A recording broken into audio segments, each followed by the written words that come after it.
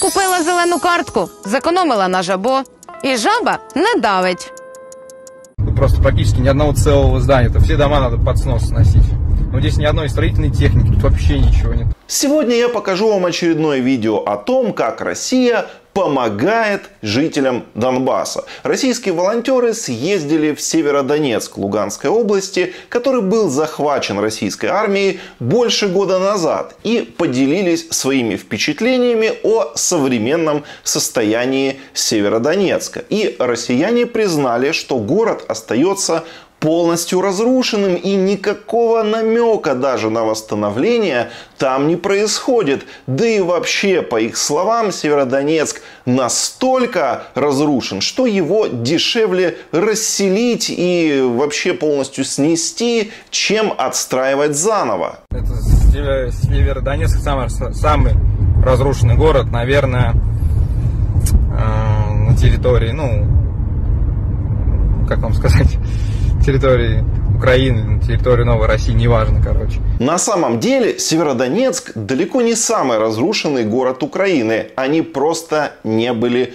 в других городах. Например, Попасная, которая находится там неподалеку в стороне, была разрушена на 90%. И оккупационные власти Луганской области уже объявили, что вообще нецелесообразно ее восстанавливать, и они не будут этим заниматься. Маринка Донецкой области уничтожена просто под ноль. На ее месте остался только строительный мусор и фундаменты домов, и там бои еще продолжаются. Солидар и Бахмут также практически полностью стерты с лица земли. Это признавали сами россияне. И в принципе восстановить эти города уже невозможно. Их можно только снести и построить на их месте что-то новое. Даже если это будет называться Бахмут и Солидар, понятно, что это будут уже абсолютно другие города. Северодонецк на этом фоне, конечно, все-таки выглядит получше, но все равно очевидно, что он настолько искалечен войной, что полностью восстановить его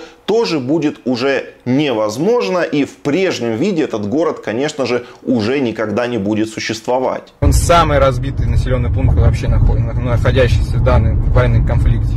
Самый, блин, разрушенный. Тут просто практически ни одного целого здания. Это все дома надо под снос сносить. Но здесь ни одной строительной техники, тут вообще ничего нет.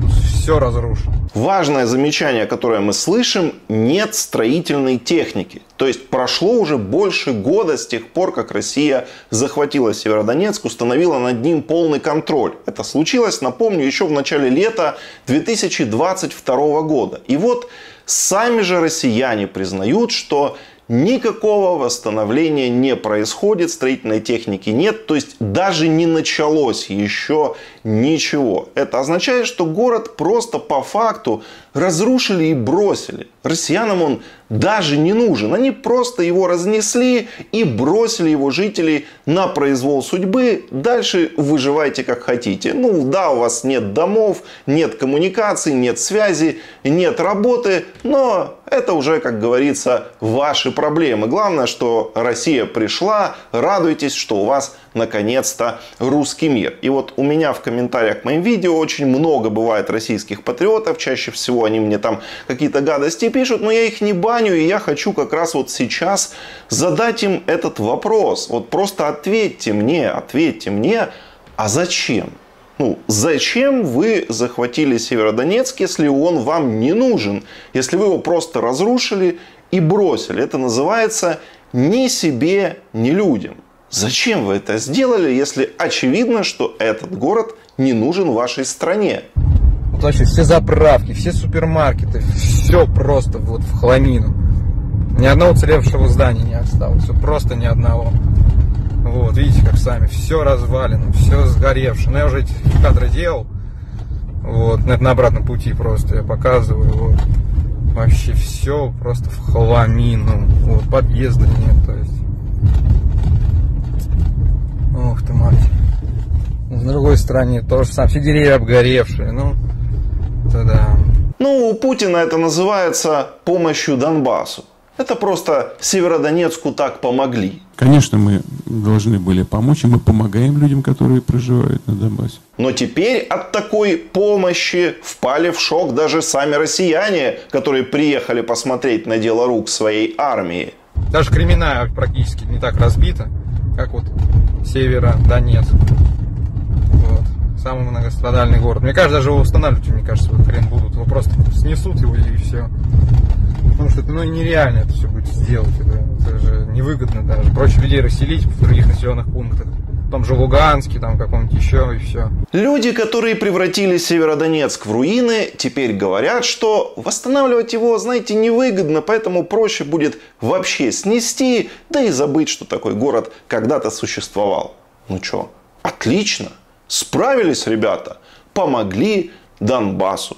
Причем самое потрясающее, что Российские патриоты, которые превратили этот город в руины и оставили его жителей бездомными, даже не могут внятно объяснить, а зачем вообще все это было? То есть этот город им просто не нужен, что совершенно очевидно. Они его разрушили, бросили, и никто даже не потрудился нормально там рассказать жителям Северодонецка, хотя бы, да, которых они бомбили. А зачем?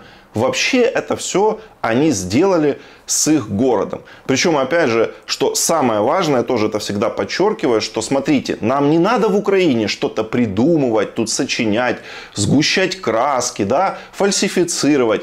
Сами россияне, смотрите, сами снимают на видео, сами комментируют, рассказывают, как все есть, сами выкладывают да, в интернет, документируют и выкладывают последствия своих военных преступлений. Больше всего я люблю, когда россияне, которые с 2014 года рассказывали, что в Украине идет гражданская война и внутренний конфликт, теперь берут и запросто признаются, что все это время они просто врали, а Украина, соответственно, говорила правду и не было никакого внутреннего конфликта, а Россия на самом деле в 2014 году вводила в Украину войска, лишь для вида прикрываясь вот этими всеми всеми псевдоополченцами. На этот раз такое признание сделал известный полевой командир боевиков ДНР Александр Ходаковский, который дал интервью российскому военкору Семену Пегову и совершенно открыто признал перед камерой, что да, в 2014 году Россия действительно вводила в Украину войска, когда стало очевидно, что парамилитарные формирования так называемых ЛДНР